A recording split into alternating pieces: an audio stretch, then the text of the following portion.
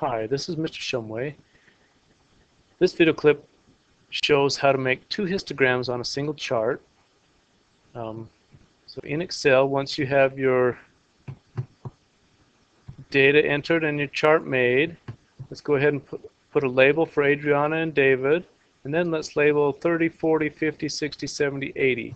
I can see shirts per day going anywhere from 31 to 75, so this 30 to 80 should include all of those.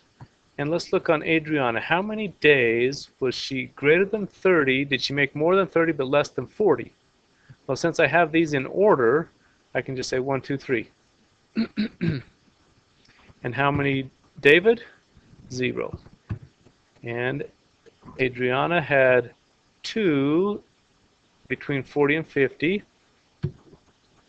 David had one, two, three, four, five. And Adriana had three above 50. What? Four? Because there's a 58. And David had one, two, three, four, five.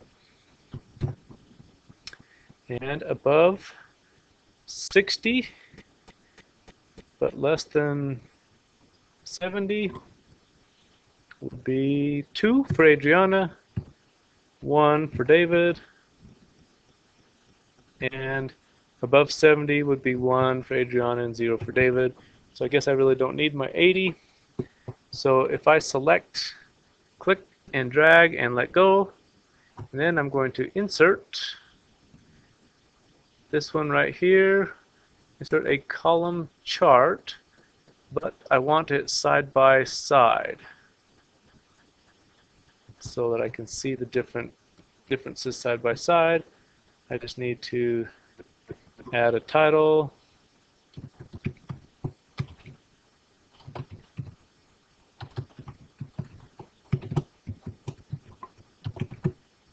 Short production for 12 days. I need to add axes titles. This one's going to be days. That's how many days she made that many 30 shirts or 40 sh or more shirts or 50 or more shirts. And then here this would be shirts per day. So there will be like three days with 30, more than 30 but less than 40 shirts per day. Two days on the blue on Adriana. Four days. Two days and one.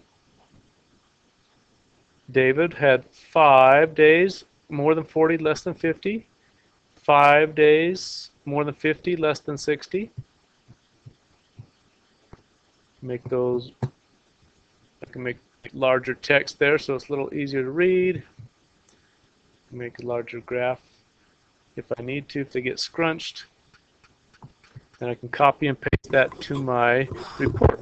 Now I ought to look at my conclusion on my report just to make sure that it stays the same.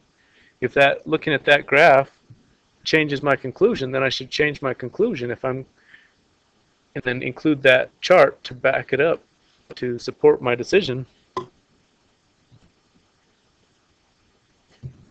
So those are that's how you make two histograms on a single chart. Doing it manually by ordering them, it's easier to count how many are in each group